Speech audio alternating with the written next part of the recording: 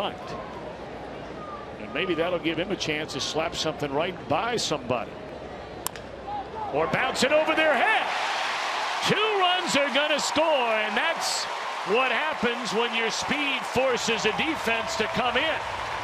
A two-run single, make it a double for Derrick Robinson.